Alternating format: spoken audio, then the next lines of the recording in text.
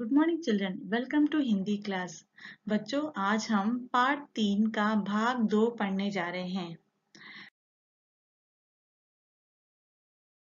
भाग एक में आपने देखा था पार्ट तीन, अनोखा ढंग के में एक मनु बहन है। आप देख सकते हो यहाँ पर मनु बहन यहाँ पर है। मनु बहन और यहाँ पर है गांधी जी मनु बहन ने जो पत्थर था वो जुलाहे के घर भूल गई थी। ये है जुलाहा वीवर जो कपड़ा बन, बनाता है है ना? तो मनु बहन यह जो पत्थर जो गांधी जी अपने पैरों को साफ़ करते थे उस पत्थर को मनु बहन जुलाहे के घर पर भूल गई थी।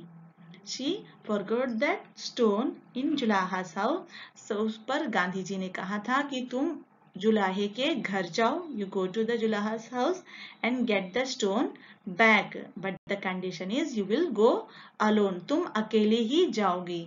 इस पर मनु बहन बहुत डर गई।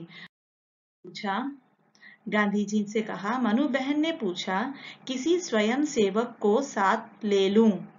क्या मैं किसी स्वयं स्वयं सेवक स्वयं सेवक मतलब बच्चों जो सोशल सर्विस करते हैं, जो स्वयं से दूसरों की सेवा करते हैं ना, जो सर्विस करते हैं हेल्प करते हैं दूसरों की, उनको कहते हैं स्वयं सेवक तो मनु बहन ने पूछा can I take a volunteer और any social person along with me तो बापू ने कहा, क्यों? देन गांधी जी बापू मतलब गांधी जी ने कहा क्यों why why you want to take anybody with you you have to go alone ये गांधी जी ने कहा मनु चुप रह गई मनु वॉज़ साइलेंट यह नहीं कह सकी कि अकेले जाते डर लगता है but she didn't she couldn't say that that it is afraid to go alone वो बता नहीं पाई, गांधी जी को कि मुझे डर मतलब गेटिंग स्केर तो उसको डर लगता है, वो बता नहीं पाई। क्यों उसको डर लगता है why she is getting scare बात यह है कि नोवा खली में नारियल और सुपारी के जंगल थे। The reason is children Noakhali you know that place where the Gandhi ji and Manubahan was staying, वो नोवा खली है। वो प्लेस का नाम नोवा खली है। तो उस नोवा खली में नारियल और सुपारी के जंगल थे। नारियल means you see here children नारियल कोकोनट ट्रीज और सुपारी मतलब होता है nut. You can see here in this picture nut. सुपारी, जो पान के लिए यूज़ करते हैं ना people are using this with paan, सुपारी, है ना?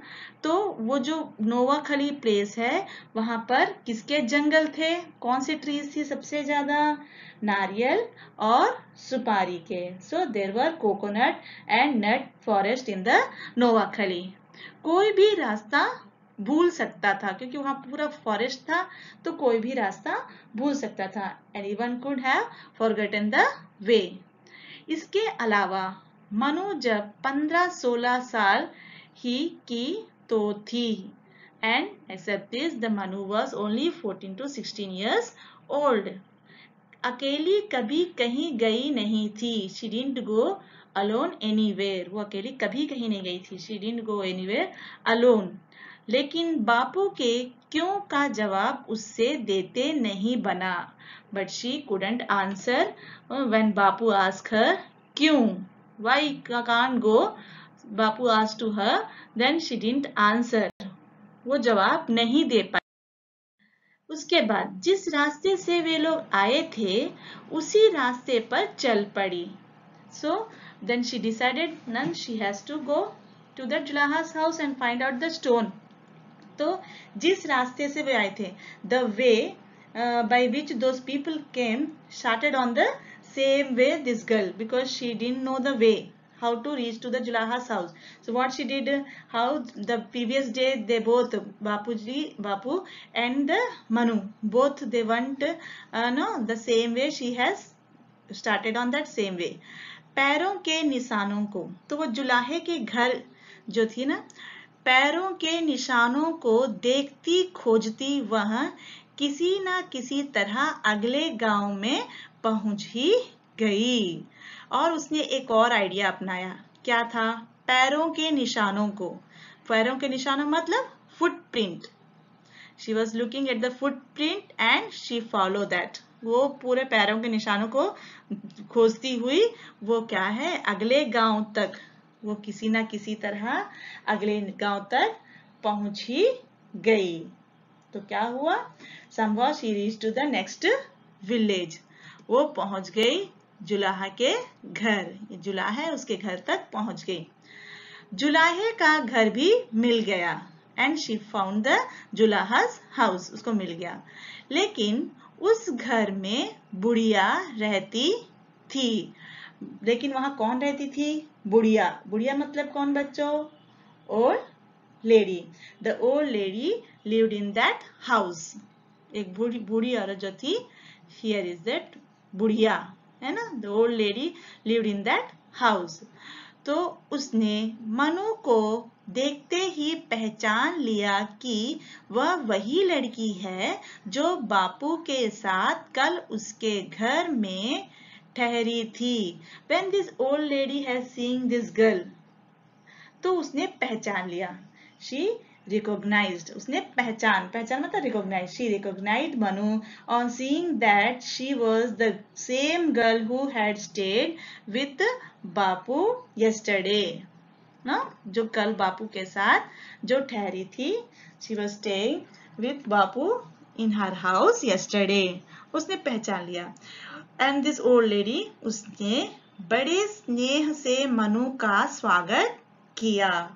और she welcome her with very great affection उसने स्नेह से, स्नेह मतलब अफेक्शन से। So this old lady welcome Manu with great affection एक तो बापू पर खींच और दूसरा इतना लंबा पैदल सफ़र। One is anger on Bapu खीज मतलब एंगर इरिटेशन है ना खीज गुस्सा तो वन इज़ anger on Bapu, one side. Then the other side she's getting irritation of the other is such a long walk. इतना लंबा पैदल सफ़र. Such a long walk. So she's getting irritated.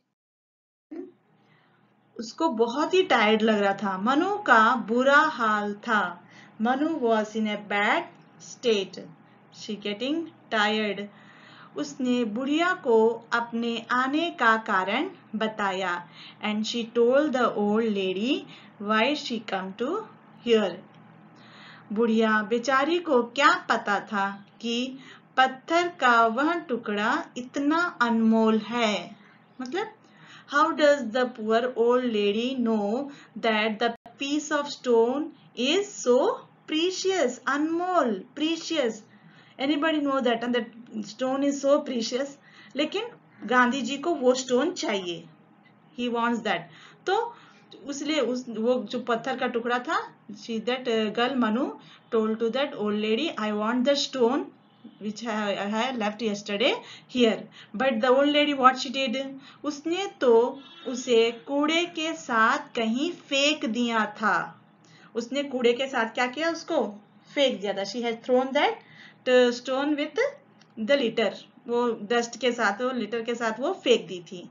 लेकिन क्या क्या? दोनों मिलकर ढूँढने लगी। एंड दो both both started searching for the stone दोनों मिलकर ढूँढने लगे they were searching for the stone भाग्य की बात है लकीली बहुत भाग्य की बात है। उनका लक है कि पत्थर मिल गया and they got the stone उनको पत्थर मिल गया। मनु की खुशी का ठिकाना ना रहा। मनु की खुशी का ठिकाना ना रहा। मनु वॉज़ वेरी हैप्पी खुशी का ठिकाना ना रहा children this is one proverb ये मुहावरा है। It is a proverb it means बहुत खुश होना। खुशी का ठिकाना ना रहा मीन्स बहुत खुश होना। So Manu was very happy उसको पत्थर मिल गया दैट स्टोन शी गॉट सुबह साढ़े सात बजे मनु घर से निकली थी। तो कितने बजे वो घर से निकली थी? मॉर्निंग वो निकली थी Manu left the house at seven thirty साढ़े सात बजे, वो घर से निकली थी। लौटी तो एक बज चुका था। और वह जब रिटर्न हुई तो कितना बज चुका था? It was one P M afternoon when she was return वो वापस जब आई तो आफ्टरनून वन हो गया था। पंद्रह मील चलना पड़ा था। She had to walk fifteen miles उसको चलना पड़ा था। वो वॉक की थक कर चूर हो गई थी because she walk such a long distance थक कर चूर हो गई थी. शी गॉट टायर्ड बहुत थक गई थी.